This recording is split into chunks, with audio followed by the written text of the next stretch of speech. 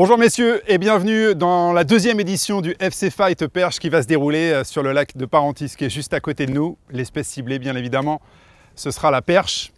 Vous connaissez j'imagine euh, les règles du FC Fight désormais. Vous êtes 8 compétiteurs au départ de cette compétition. On va vous répartir en deux poules de 4 et pour cela je vais vous mettre à contribution dans quelques minutes.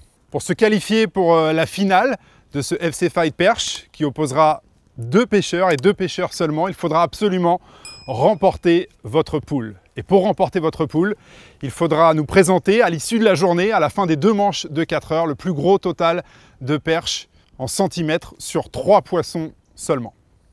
Pour gagner la finale, ce sera exactement la même chose. Le vainqueur du FC Fight Perche sera celui qui aura les trois plus grosses perches à l'issue de la finale. Des règles très simples, on va maintenant procéder au tirage au sort. Samir, tu as fait la première édition du FC Fight Perche où il arrivé pas mal de, de déboire. Je vais donc te demander, à toi en premier, de choisir un numéro compris entre 1 et 8. Le 5. Le 5, Arnaud Rizzi Anderson, qui sera donc le premier compétiteur de la poule A. Alexandre Bigot de Westin, un petit nouveau dans le FC Fight. Alex, je vais te demander de me donner un numéro compris entre 1 et 8. Le 4, s'il te plaît, David. Le 4, Arnaud Landrieux qui représentera 13 Fishing et Rapala et qui sera donc dans la poule A aux côtés de Arnaud Rizzi Anderson.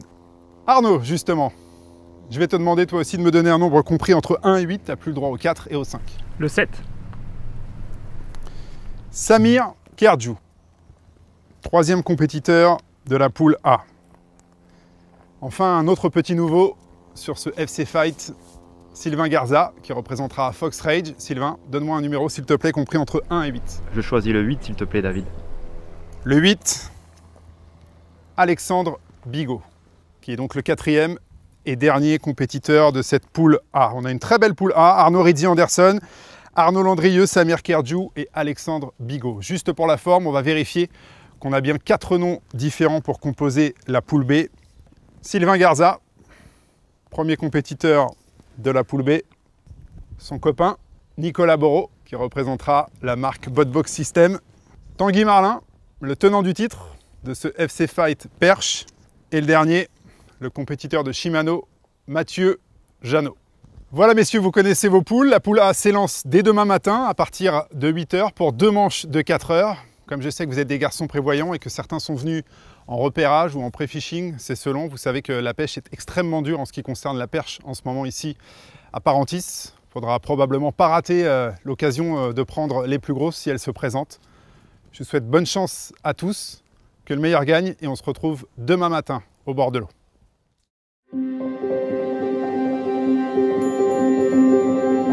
Le tirage au sort vient de livrer deux poules très intéressantes. Dans la poule A, Samir Kerdjou semble être le favori. Grâce à son expérience et à son palmarès, c'est en tout cas lui qui inspire le plus de crainte aux trois autres compétiteurs. Dans la poule B, on retrouve le tenant du titre, Tanguy Marlin, et l'un des favoris de la compétition, le guide de pêche, Sylvain Garza. Ce magnifique lac de Parentis, d'une superficie totale de 3400 hectares, offre beaucoup de possibilités et des zones très différentes des baies et des ensabrités, des roselières prometteuses, des zones plus profondes et plus mystérieuses, des épaves et puis des structures. Il y a de nombreux puits de forage sur Parentis et bien évidemment ces zones fixes de la vie et les prédateurs.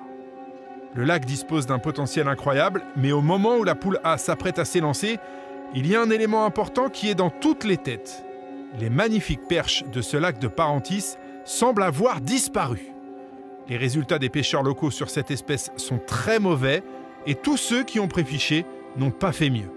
Les grosses perches qui peuvent mordre en surface au mois de septembre sont très discrètes. Pas de chasse, pas de pic d'activité. Ce FC Fight débute dans une atmosphère particulière. La pêche s'annonce difficile. Il y aura probablement peu de touches et la tension est palpable au moment où la compétition débute.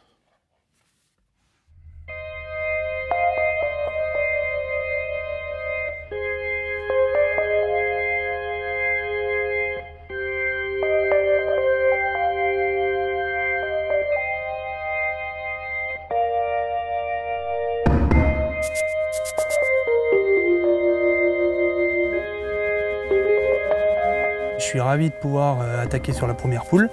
Après, en face, bon, bah, j'ai des compétiteurs de renom, hein, donc Samir notamment, euh, qui, a déjà fait des émules sur les, sur les premières euh, éditions. À moi ensuite de, faire le nécessaire pour euh, rivaliser face à, à ces gros compétiteurs. Il y avait des, voilà, des gars que je voulais euh, éviter, on va dire, qui sont pour moi des favoris ici, notamment Tanguy. Euh, je voulais éviter Tanguy et, euh, et, euh, et Sylvain Garza, même s'il va falloir se méfier de- de- des pêcheurs qu'il y a dans ma poule, notamment Samir. La compétition, c'est premier ou dernier. Pour moi, le deuxième, ça sert à rien. Donc, euh, c'est premier ou dernier. Ça sera la ligne de conduite du début jusqu'à la fin. La pêche est compliquée, euh, tout le monde l'a dit, hein, même, les, même les locaux, les gens qui viennent ici souvent. Je pense qu'il va falloir coller à ces stratégies, à, à ce qu'on a découvert dans les pré-fishing, à ce qu'on a trouvé, et puis, euh, et puis y croire. Tout le monde peut gagner, tout le monde peut tomber sur un banc de perche de, de 40, 45 et rentrer trois poissons en 5 minutes.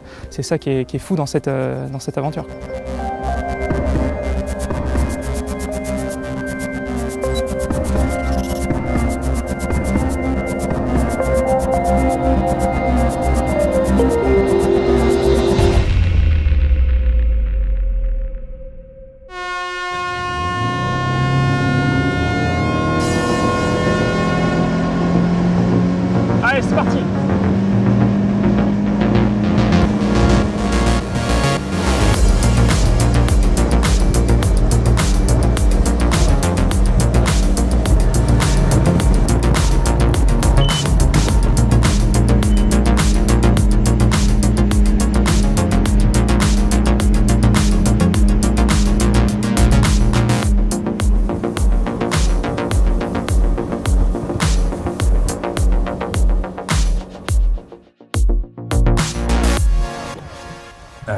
Gentiment.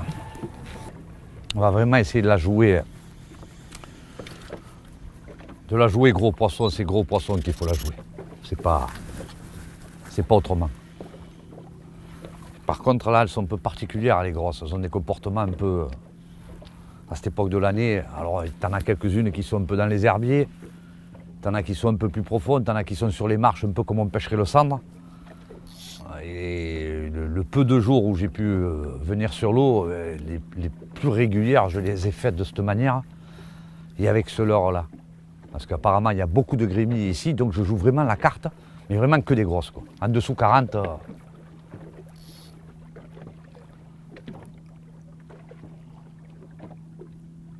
c'est pas nos critères de recherche. On va faire une petite demi-heure ici en surface. Après, si j'ai rien attrapé au bout d'une demi-heure, on va changer de spot en surface encore une fois et après euh, le coup du matin en surface sera terminé. Allez, C'est la, la particularité du lac, ce qui est euh, d'une grande aide quand tu arrives sur le lac comme moi et, et qu'au final tu l'as pêché euh, trois fois dans ta vie et la dernière fois il y a 8 ans, et ben tu te dis le lac est tellement grand si euh, je dois faire le tour pour chercher des éventuels poissons euh, sur des zones d'herbe ou quoi, sachant qu'il n'y a, que de l'herbe ici, ça, me prendra beaucoup plus que deux jours.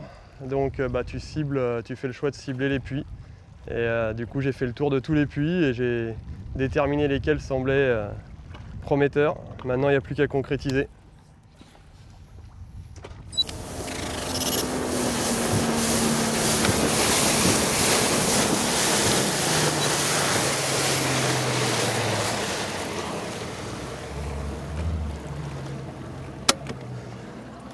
C'est parti.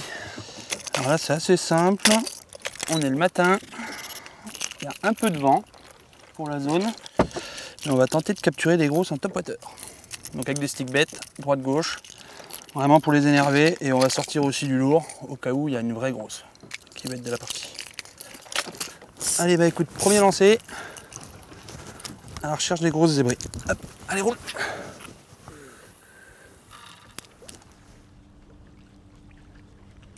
Je vois pas un seul poisson euh, péter la surface. Quoi. Allez les filles, je sais que vous êtes là. Faut y aller maintenant. Faut y aller.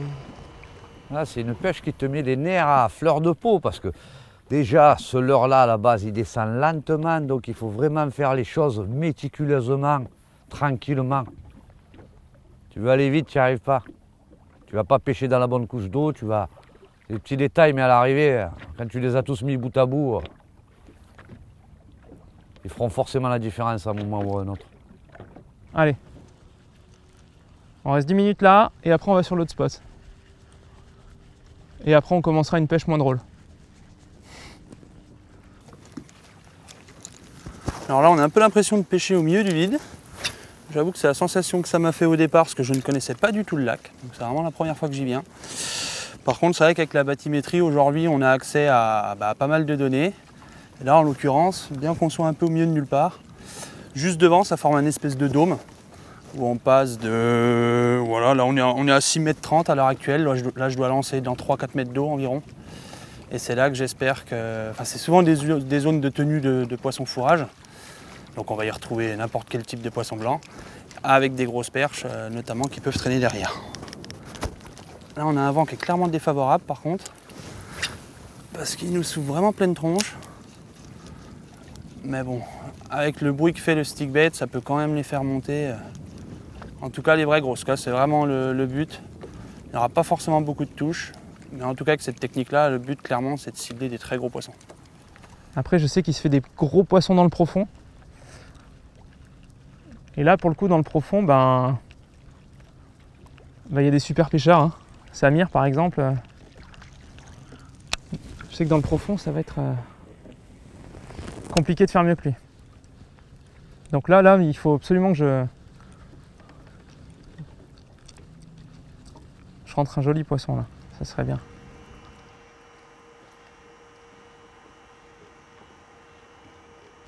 Oh putain Oh non, non Cette touche Oh, papa, papa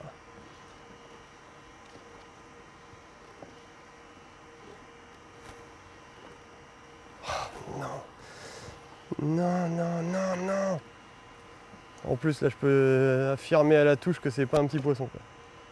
C'est pas une perche de 10, ça c'est sûr. Oh là là là là. Non, non, non. Comme on pouvait le craindre, les perches semblent très peu actives et le fameux coup du matin est un fiasco pour l'instant. Les options prises sont pourtant très différentes. Du top water pour Arnaud Rizzi Anderson et Arnaud Landrieux, un point très marqué et assez profond pour Samir Kerjou et un puits de forage pour Alexandre Bigot. Après 30 minutes de compétition, personne n'est rassuré. Ah, raté. Putain, ça y est. C'était pas vilain. Même dans les vagues, elles y sont. Ah, elles mordent court. Merde. Je vais mettre un point. Elles sont là. Comme quoi, faut pas hésiter à pêcher, même pleine vague là. Il y a bon nombre de pêcheurs qui n'auraient pas osé pêcher au stick dans ces conditions-là. Mais c'est vrai que quand on a une zone et qu'on est convaincu de, la présence de poissons, il faut rien lâcher. Là, ce qui me dérange, c'est qu'elle a mordu super court. Donc c'est soit ma couleur qui va pas, ma sonorité. Mais déjà, je les fais réagir au milieu de toutes ces vagues. Donc c'est bon signe.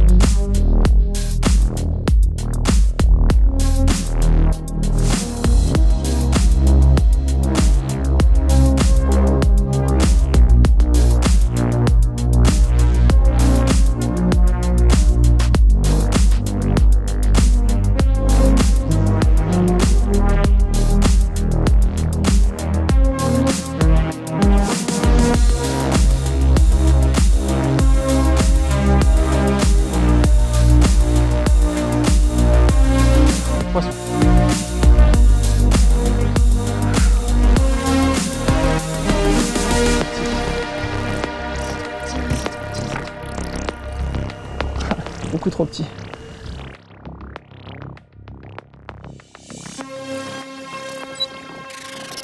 Donc là, je prends quand même un peu de risque à, maintenir des pêches en surface. Bon, contrairement à ce qui se dit, moi j'ai réussi à en faire du moins en, plein après-midi ou fin de matinée. C'est là que j'ai même fait mes plus belles. Donc euh, je préfère vraiment je, tenter de jouer la gagne au risque de rien prendre du tout. Hein. C'est clairement, le, clairement un risque possible. Et euh, je tente la gagne en visant, ces gros ça qui peuvent à tout moment monter en surface.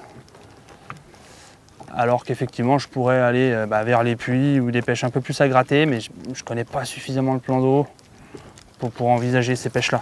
Ça reste des pêches euh, souvent très précises, dans des spots très précis. Là c'est une immensité, donc, donc m'attaquer à ça c'est assez ambitieux par rapport, par rapport aux locaux. Je vais juste changer de coloris, là je vais mettre un, truc un peu plus...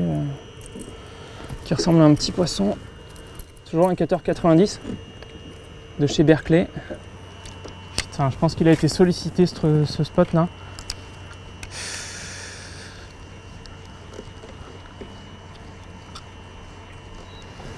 Bon, on va faire un- une tentative derrière et s'il n'y a rien, on va bouger.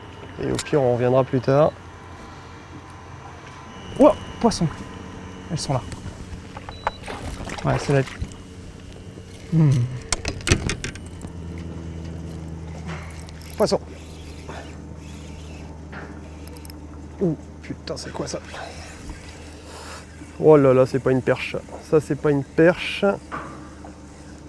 Eh merde. Un petit pike. Eh ben voilà. Ah, merde, merde, merde.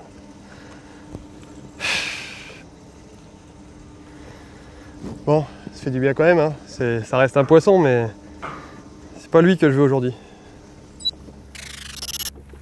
Ah, c'est dur une heure et demie sans touche. hein. Quand tu fais des choix, il faut, il faut avoir le mental d'aller jusqu'au bout.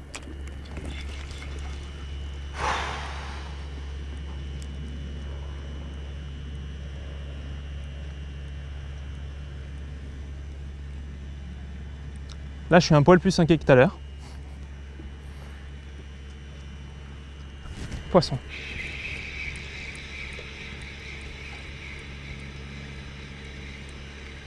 C'est pas gros. Ah putain, c'est pas gros du tout. C'est ce qu'on recherche, mais euh, il faut une deux tailles plus grandes. Voilà, c'est le fond. Hop là, avec une toute petite derrière.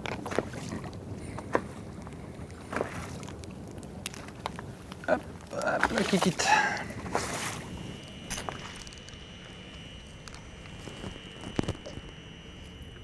Waouh Waouh Ça, je savais, c'est les bancs que je vois. C'est pour ça que je pêche volontairement avec des leurres plus creux pour justement essayer de prendre les grosses qui, elles, mangent les petites. Très peu de touches et des poissons minuscules. C'est la catastrophe dans cette poule A après presque deux heures dans la première manche. Tout le monde est dans le dur. On est très loin de la frénésie du matin de la première édition du FC Fight Perche. C'est un zéro pointé pour tous les bateaux.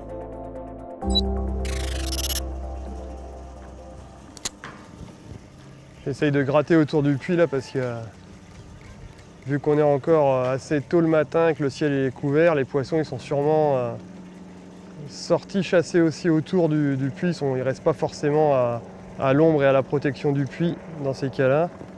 En plus il y a une belle zone d'herbe ici là. Donc euh, ça tient des poissons. Je vais simplement faire une petite modification. Parce que ici on sait qu'elles aiment bien les palettes. Donc je vais rajouter un petit triple à palette justement derrière là. Pour accentuer un peu les flashs lumineux. Je dois en avoir un qui traîne sur celui-là. Voilà, ça se présente de cette forme. Petit triple court, une palette derrière. Et du coup ça travaille en même temps que le, stick bait travaille. Donc ça va vraiment permettre d'envoyer des flashs lumineux. Là on voit il y a une toute, la luminosité c'est un peu accentué, il y a un tout petit rayon de soleil. Donc je vais en profiter pour rajouter ce petit, ce petit plus et voir si ça fait la différence. Hop là, on va éviter de l'échapper.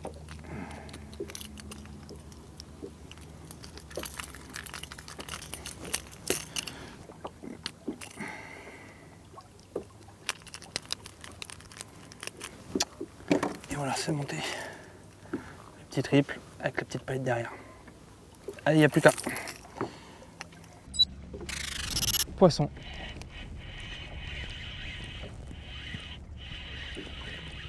Je pense pas que ce soit une perche.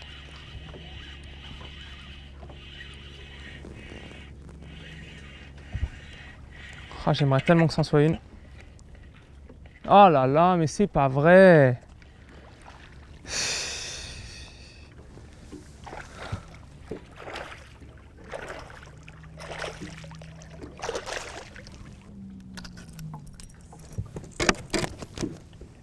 Petit branché. C'est pas lui qu'on veut. Les minutes filent et le doute s'épaissit. Les convictions matinales sont fissurées pour la plupart des compétiteurs de cette poule A. Après 2h30 de pêche, la situation est totalement inédite dans la jeune histoire du FC Fight.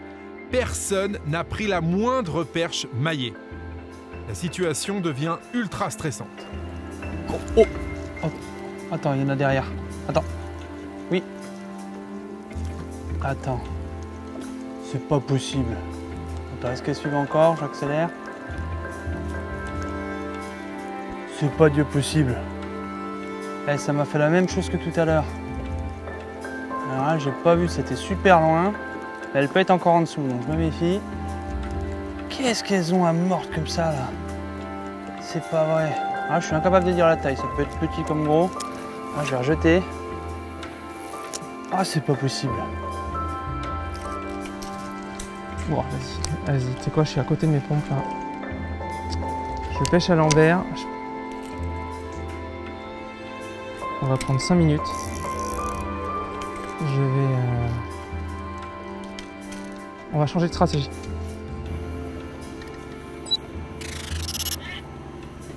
Allez, go. On bouge. Parce que là, le temps, joue contre nous. Taillé. Non. Attends, il y en a derrière, il y en a derrière. Vas-y, vas-y, vas-y, vas-y. Mais. Attends. C'est pas. Non, mais non, attends.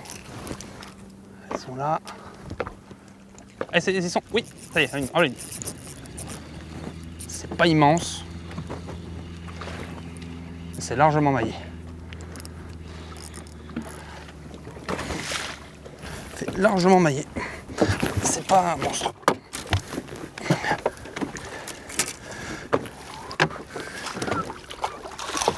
Ouais. Ah, yes Comme quoi, faut y croire. J'ai rien lâché, je suis content. Elle est pas très très grosse. Hop là. Attends, je vais tenir comme ça. Voilà. Bon, je suis bien content. Je me suis toujours maintenu dans ma stratégie. Un petit changement avec le triple à palette. Alors là, pour le coup, elle est parfaitement piquée dessus. Hop, je vais la décrocher gentiment. Donc est-ce que c'est lui qui a fait la différence? Que depuis tout à l'heure, étape court et je les, rate J'en sais rien.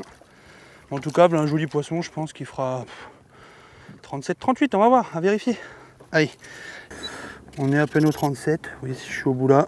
On la valide à 37, là je suis plus à 37, je suis pas tout à fait à 38. C'est loin d'être la plus grosse des ratées, mais déjà, c'est une belle mise en, une belle mise en bouche.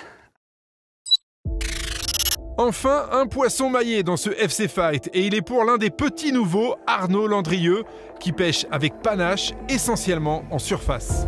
Pour l'instant, cette audace lui permet de prendre la tête de la poule et vu le rythme des touches, c'est déjà un poisson qui peut s'avérer très important pour accéder à la finale. Il y en a qui me traiteraient de fou de pêcher en plein eau comme ça. Il y a 6 mètres d'eau, un top water au milieu de nulle part, tout discret, dans des vagues incroyables. Je pense qu'on va se moquer de moi.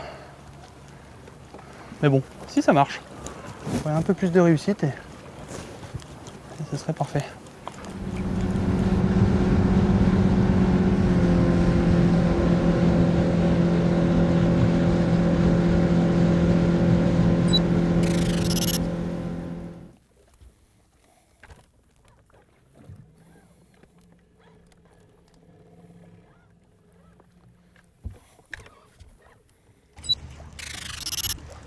Pourquoi ça sort pas putain Pourquoi, pourquoi, Alors là, on va faire un truc un peu particulier. J'arrive sur mon dôme. Je vais passer au thermique en faisant un peu de bruit. Ça peut en faire sourire certains. Moi, je me mets volontairement un peu légèrement déjaugé. Mais de créer un mouvement d'activité avec le sable ou autre, ça peut remuer un peu les sédiments, activer le fourrage et finalement activer des perches. Donc là, je suis en plein sur mes meilleurs spots. Vous allez dire que je fais n'importe quoi, mais on va essayer. Des fois, ça fonctionne. Donc là, je tente le tout pour le tout avant midi, faire un peu de bordel.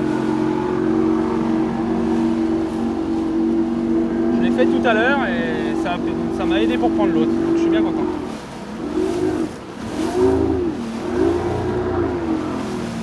Et bah allez, on attaque. De toute façon, on est pleine vague. Alors là, je suis pas mal. Je vais retourner là-bas. Je les ai tout à l'heure. Ah, il y a les herbiers. Allez, j'y suis. Allez, c'est reparti. Là, c'est le tout pour le tout. Il reste même pas une demi-heure. Là, faut plus les rater. Allez, zou. Plein vent. Là, j'anime mon jig dans les poissons.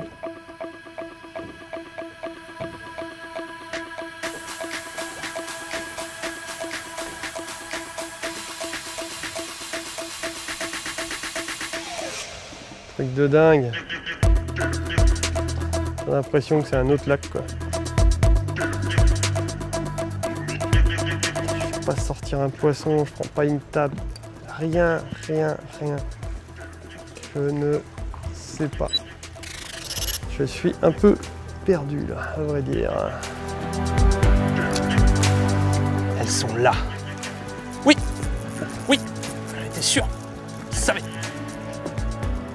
Oh, elle est pas grosse. Non, j'ai des monstres derrière. Elle est toute petite celle-ci. Oh, elle est grosse derrière. Tu vois derrière. C'est une petite.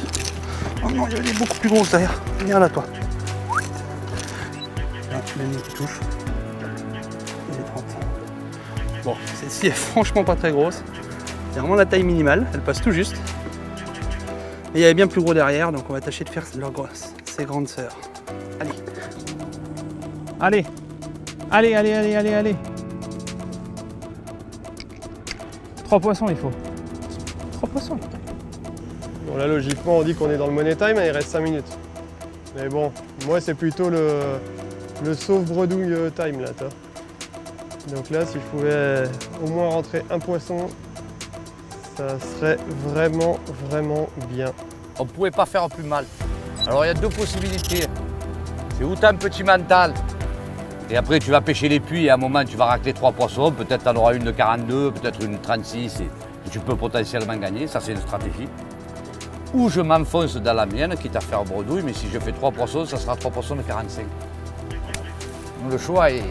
Il va se réfléchir entre midi et deux. Même principe, je n'ai pas pour habitude de changer de stratégie. Parce que si je finis deuxième, ça sert à rien. Il faut finir premier. Donc premier, il faut trois gros poissons. C'est aussi simple que ça.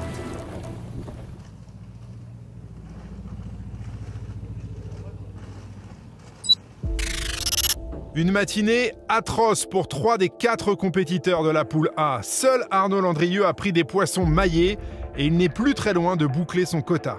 Il a surtout pris une sérieuse option sur la qualification avec cette pêche au top water sur une seule zone, une zone qu'il réveille parfois à sa manière. Il reste désormais 4 heures à Samir Kerjou, Alexandre Bigot et Arnaud Rizzi Anderson pour tenter de revenir dans la course à la finale. Et dans cette deuxième manche, ils vont désormais devoir composer avec une météo beaucoup plus musclée. Le vent s'est levé sur Parentis. Le vent, il a tourné. Ça peut vraiment changer la donne.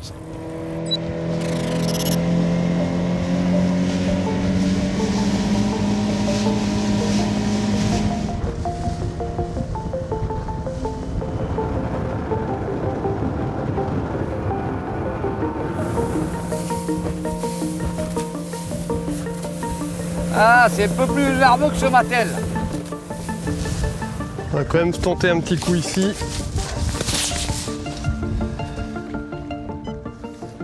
Hop, on va essayer de se rapprocher.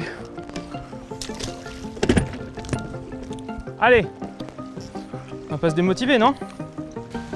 Oh le vent il s'est levé depuis ce matin là, c'est pas pour rire. Hein. Ouah vache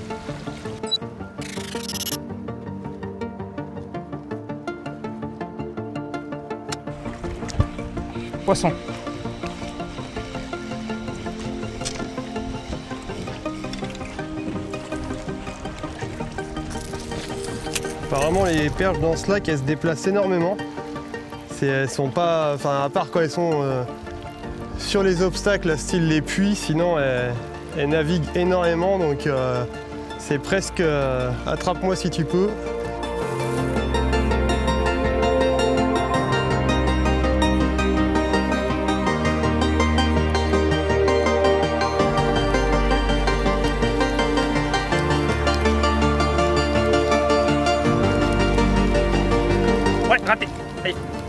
Pas possible. Oui, oui, soit derrière. Non, mais non. Ah non, ça va pas refaire comme ce matin.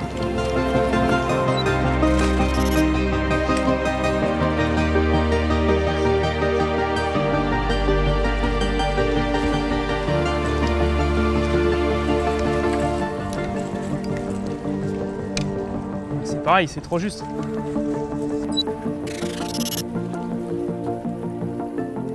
Elle commence à me chauffer là.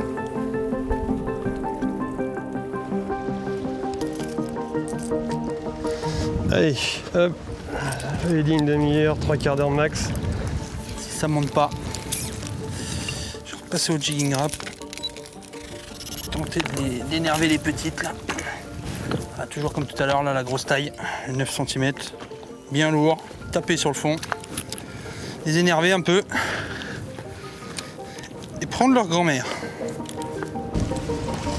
Ce qui est rageant, c'est que je sais qu'elles sont là. Elles sont forcément euh, autour du autour du puits. Mais elles sont calées. Elles doivent être euh, collées au fond, c'est pas possible quoi. Essayer notre euh, montage, on va aller faire ou deux puits et puis on repartira dans notre stratégie. C'est juste que je trouvais que j'étais emmerdé là-bas avec le vent. Je les avais pas réussi les perches là-bas quand il y avait le vent, donc je me dis que. Compétition, il te faut avoir un plan A et un plan B. Bon là le plan B, il n'est pas peaufiné parce que j'ai pas pu préficher comme je voulais, mais bon, c'est comme ça.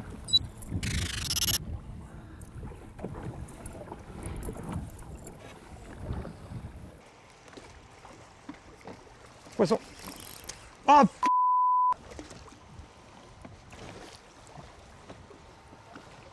Oh non. En plus c'était vraiment costaud de chez costaud quoi. Non. C'est pas vrai. Mais non. Tu vois, le fait d'avoir foutu le bazar au jigging là, il y a une chasse, chose qu'il n'y avait pas tout à l'heure. Je suspecte mon jigging animé un peu fort, ça les énerve. C'est bien le but escompté.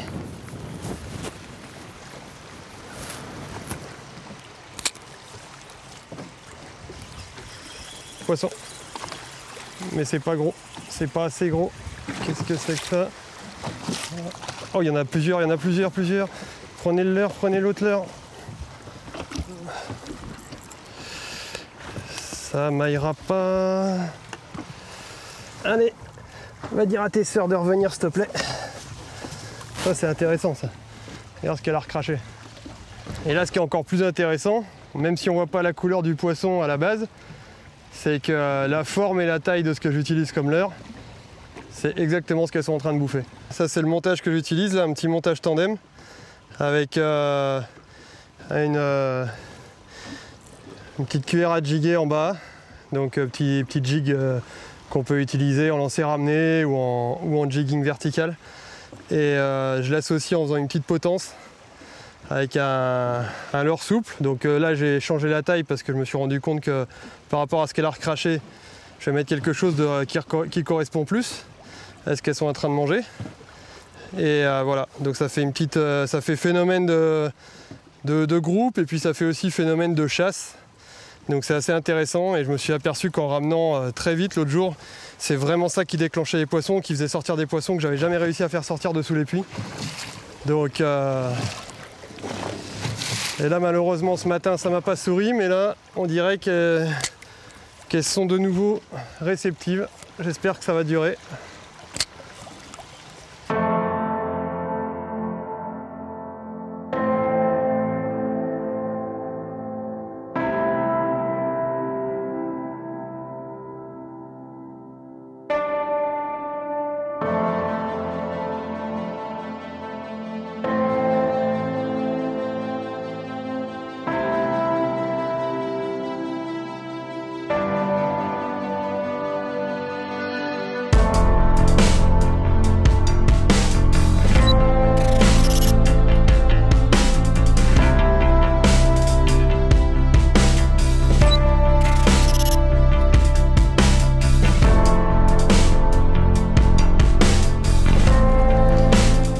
Cocottes là. Il faut s'activer là, c'est l'heure. C'est l'heure, je sais plus quoi mettre.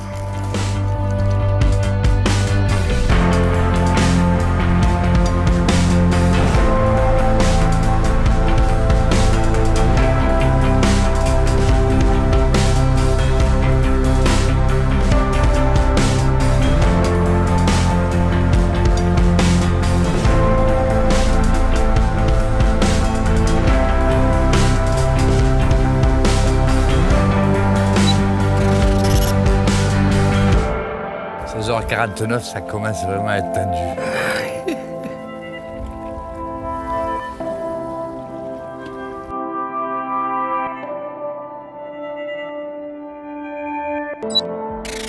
La matinée n'a pas été bonne et tout le monde espérait que le vent allait changer la donne pour le début de cette deuxième manche, mais il n'en est rien.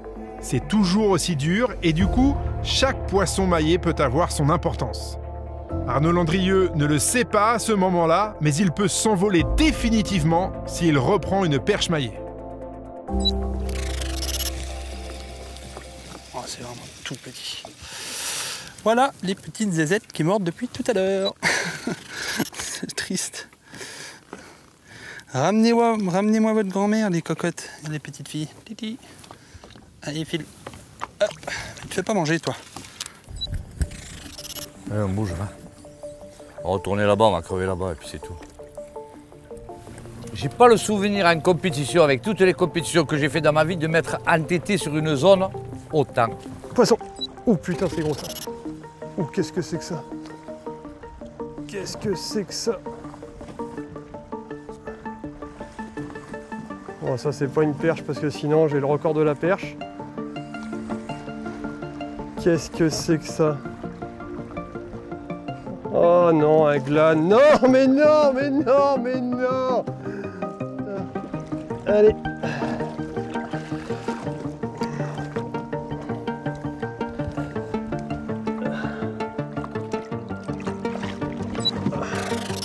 Bon, allez, on va continuer d'énerver les petites là.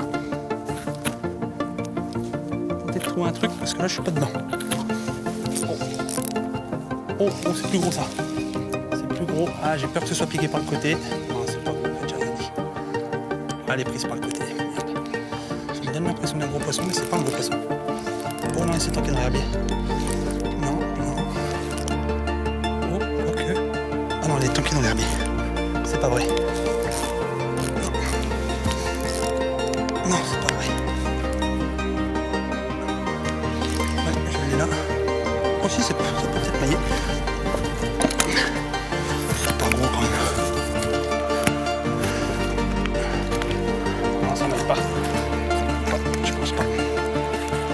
Mais bon, il y a de l'idée. J'ai de la chance, je touche à rien. Là, je suis à 30 tout pile. Allez, yes, c'est bon ça. Changement de stratégie, un tout petit jigging wrap. Ça boucle un tout petit quota. Mais bon, ça compte.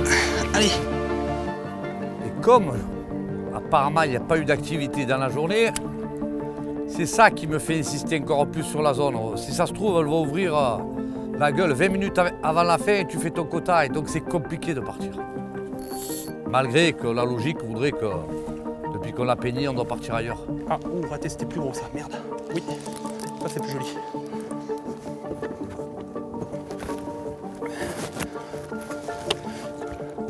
Ah, il y en a d'autres derrière. Oh, oh, oh, J'ai failli en rentrer une deuxième dans l'épuisette. Oh. Elle s'est décrochée dans l'épuisette et derrière, derrière il y avait une plus grosse a failli rentrer dans l'épuisette. Alors ça, j'ai jamais vu par contre. Ah, c'est petit ça, je pense encore. Là, on doit être sur du sur du 28, 28, 30, on va voir. Elle repose bien, là je suis à 31. J'améliore un tout petit peu. Bon, toujours pas glorieux, mais ça sauve la misère.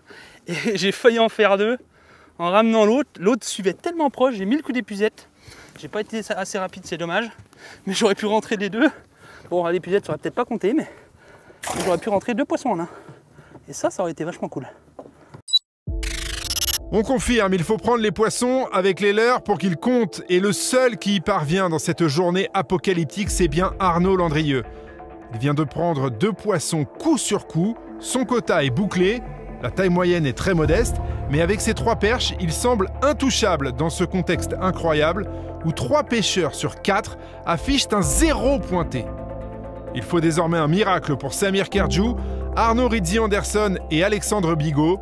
Il reste très peu de temps, mais certains ont le mérite de ne rien lâcher. Allez Arnaud.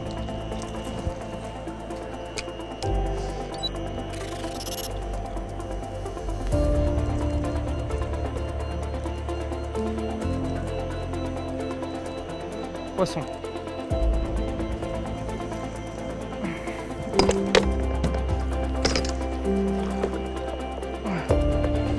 Peut-être que celle-là. Ouh Peut-être que celle-là liée. Ouais, toi, un peu plus de 31.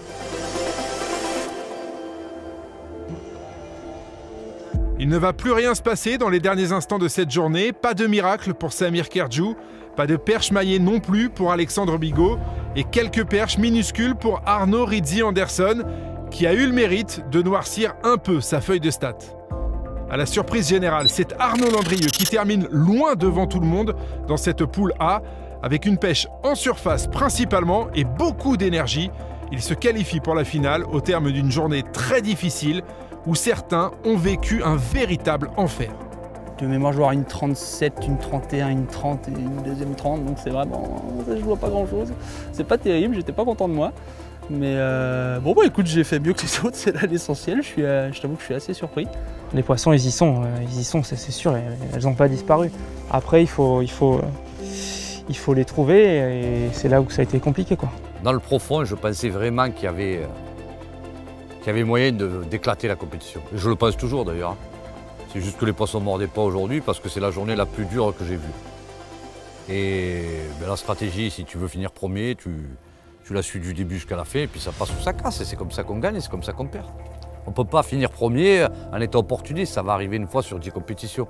Si on veut être régulier, si on cherche tout le temps à être premier, eh ben, tu as une stratégie que tu, que tu prends du début jusqu'à la fin et puis à un moment ça paye. Là, ça n'a pas été le cas. Mais euh, si on refaisait la compétition demain matin, je referais exactement la même chose.